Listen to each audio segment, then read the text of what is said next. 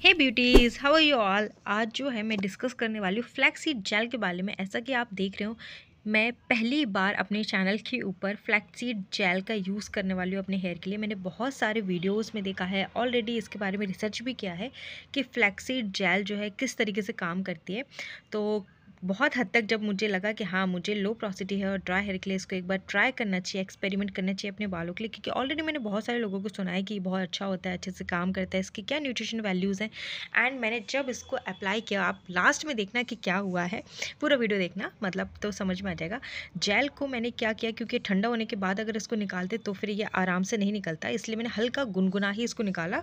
कपड़े की जगह आप अगर ड्रेनर का यूज़ करोगे ना तो ज़्यादा बेटर होगा अदरवाइज़ थोड़ा मैश तो हो जाता है एंड इसकी कंसिस्टेंसी अपने आप जब ये ठंडी होती है ना हल्की सी तो ये स्टिकी सी हो जाती है। स्मेल कुछ भी नहीं आती है, बिल्कुल भी नहीं। और थोड़ा सा मैश ज़रूर होगा तो छुट्टी वाले दिन करना। एंड और अच्छे से, हल्का सा मैंने गुनगुना ही इसको लगाया तो अच्छा लग रहा था लगाने में।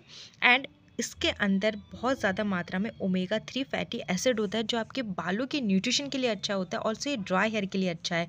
लो प्रोसिटी हेयर मीन्स आपके एक्स्ट्रा ड्राई हेयर तो ये प्रोटीन का मास्क नहीं है, क्योंकि लो प्रोसिटी हेयर में क्या होता है ना हेयर स्ट्राफ्ट रहती है तो वो प्रोटीन को जल्दी ईजिली एब्जॉर्ब नहीं करती है।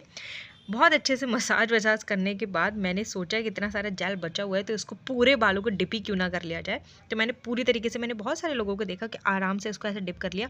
कोई स्मेल नहीं था, कोई फ्रेगरेंस नहीं था, कोई कुछ नहीं था, बहुत ज़्यादा स्टिकी भी नहीं हो रहा था क्योंकि हल्का ल्यूक वॉम ही मैंने यूज़ किया। एंड इससे आपकी हेयर ग्रोथ भी होती है यू नो फ्लैक्सीड जेल आपके बालों में मैजिकल तरीके से काम करता है। अगर सही तरीके से लगाया जाए तो। एंड आप इसमें डीआईवाई जो भी रेमेडीज़ करते हो ना हेयर से रिलेटेड तो भी इसको कर सकते हो।